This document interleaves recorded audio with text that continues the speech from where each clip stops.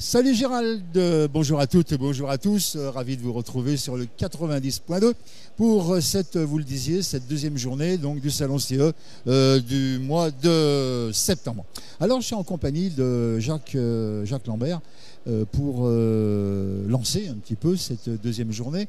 Alors d'abord, première question simple, la première journée s'est bien passée. Oui, c'était notamment on a eu une matinée où il était un peu compliqué de passer dans les allées, donc c'est toujours un bon signe, ça veut dire que bah, les élus de CE euh, ont toujours un moment pour venir décider des activités sociales et culturelles à proposer euh, aux salariés des entreprises. Ça, c'est bien. Euh, c'est bien pour les exposants, c'est bien pour le salon, parce qu'un salon où il y a du monde, c'est quand même plus vivant et c'est l'objet, c'est aussi un lieu de rencontre. Donc les gens se sont aussi rencontrés et ça, c'était bien. Alors, les débats hier ont été intéressants. Bah, les débats étaient d'actualité, donc l'actualité ah. ayant été fournie et chargée depuis, depuis le mois de février, depuis depuis la loi Rebsamen, puis les lois El Khomri, euh, on a des changements constants. Donc évidemment, les décrets d'application arrivant, on, spécule sur comment ça va se passer quand ça va arriver dans les ordres du jour des comités d'entreprise. Donc évidemment, les organisations syndicales présentes avaient tout leur avis sur la question. Et c'est ce qui fait que ça a rendu les débats vivants et intéressants. Alors, euh, ben, tout à l'heure, dans, une heure, ici, et à partir de, 14h sur les ondes de Lyon Première, un, troisième débat avec un autre thème, cette fois-ci euh, complètement différent. Oui, euh, faut-il changer les règles du plan de sauvegarde de l'emploi? Alors, euh, ça, c'est quelque chose qui peut sembler abstrait pour certains de vos auditeurs qui sont dans leur voiture. Le plan de sauvegarde de l'emploi, c'est ce qu'on appelle euh, le plan social. C'est comment on licencie en masse. Et depuis des années, on libéralise la, possibilité de, licencier avec comme postulat de base, c'est que licencier plus facilement, ça crée des emplois. Ah ben, on va voir, on va demander à des techniciens si réellement ça crée des emplois. Euh, parce que cette facilitation euh, du licenciement ben, montre qu'on est euh, avec une courbe de chômage qui a atteint 10%, et que je ne la vois pas baisser chaque fois qu'on facilite les licenciements. Alors, moi, pour avoir suivi les, les, débats hier et puis avoir une petite idée de ce qui va se passer aujourd'hui, est-ce que quelque part, l'emploi n'est pas le corollaire euh, du travail. hier, euh, hier, il est sorti dans un débat qu'il y a eu une évolution sémantique dans le discours politique. C'est-à-dire que dans les années 70, on parlait de travail. Donc, travail, euh, la notion, c'est produire quelque chose. Après, on a eu la notion de emploi. Emploi, c'est être productif, ce qui est différent. Et aujourd'hui, on a la notion de activité. Activité, sous-entend, on peut avoir une activité, ça ne nécessite pas d'avoir un salaire. Euh, revenu social d'activité. C'est-à-dire que vous allez devoir travailler pour qu'on vous verse l'équivalent du RMI précédemment. Mhm. Donc une activité ne nécessite pas forcément un salaire. Un emploi nécessité d'être productif et de ramener de l'argent. Un travail nécessité d'être payé. Donc on a eu un glissement sémantique comme ça qui vise à dire mhm. aujourd'hui, vous n'avez pas besoin de travail, vous avez besoin d'une activité. Et c'est ça qui est intéressant parce que quand on entend les discours des politiques, là on est en, campagne électorale, j'entends parler d'identité, j'entends parler de sécurité, j'ai pas encore entendu parler d'emploi, de travail, d'activité. J'ai entendu parler de rien en la matière. Est-ce que ça veut dire que finalement c'est pas important et qu'il est plus important d'avoir une identité que d'avoir du travail?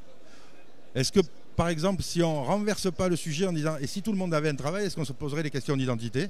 Exactement. Euh, est-ce que s'il y avait moins de pauvres, il y aurait pas moins de violence quoi? Euh, est-ce que ça vaudrait pas le coup de dire à, tous ceux qui sont en campagne, et d'ailleurs, sur le salon de Paris, je vais en avoir quelques-uns, je vais leur poser la question en disant Mais pourquoi on ne renverse pas la chose et qu'on ne parle pas d'emploi, de travail et de moyens pour les gens de pouvoir se nourrir, se loger, se soigner avec ce qu'ils appellent comme ils veulent activité, travail, emploi, on s'en fout.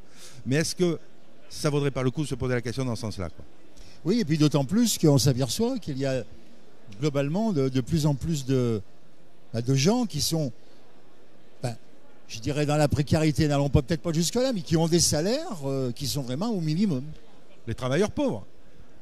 On a l'impression dans ce pays de découvrir les choses.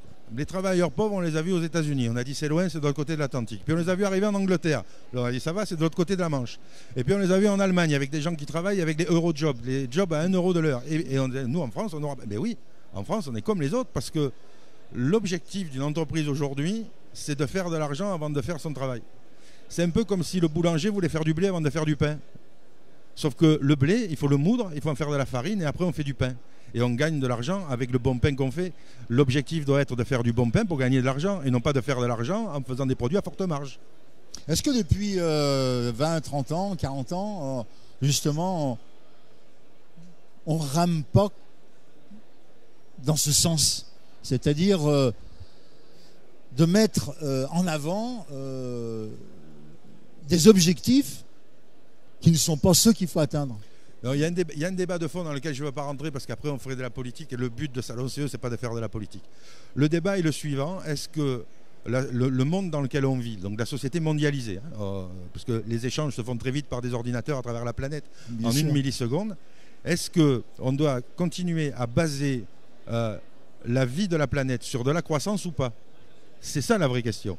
Moi, je n'ai pas la réponse. Je ne suis pas économiste, je ne suis pas un politique, pas mais je crois que la question de fond est là parce qu'à un moment, est-ce que la croissance, elle n'a pas une fin? Est-ce qu'on peut continuer à faire de la croissance comme ça, dire plus que l'année dernière? Mais pourquoi faire? Pourquoi faire? J'ai connu euh, un de nos habitués du monde politique qui venait sur les salons. Chaque fois qu'il se posait une question sur ce qu'il devait faire, il disait pourquoi faire? Je fais ça, mais pourquoi faire? Est-ce qu'il y a un but? S'il ne trouvait pas de but, il ne faisait pas. Est-ce que la croissance à tout prix, ça a un but? Parce qu'on se rend compte qu'il y a de plus en plus d'argent qui remonte à la bourse, qui ne redescend pas. Mais si ça ne redescend pas, les gens ne pourront plus consommer. Donc est-ce qu'on n'est pas en train, avec cette croissance à tout craint, de scier la branche sur laquelle on est assis? Je n'ai pas la réponse. Pas la réponse. Certains disent il y a des décroissants, il y a des gens qui parlent encore de croissance, il y a des gens qui voudraient stabiliser. Moi, je ne suis pas économiste. malheureusement, ce n'est pas mon cursus. Eh bien voilà, le tableau est mis en place, il est posé, on a mis les crochets et on se retrouve maintenant dans, euh, bah, ici sur place à partir de 11h et à la radio euh, à partir de 14h pour euh, ce troisième, cette troisième rencontre, ce troisième débat qui va être, comme ceux d'hier, extrêmement intéressant et plein de, plein de bonnes choses. Merci. Ah bah, Jacques. alors. Et puis on se retrouve tout à l'heure et puis on se retrouvera également, je pense, peut-être en fin d'après-midi pour la conclusion. Le débrief. Le débrief de ce salon. Allez, ben à, très, vite alors. À vous les buts de Chaumont. voilà Gérald, bonne euh, journée à vous et on se retrouve dans un moment. À tout à l'heure.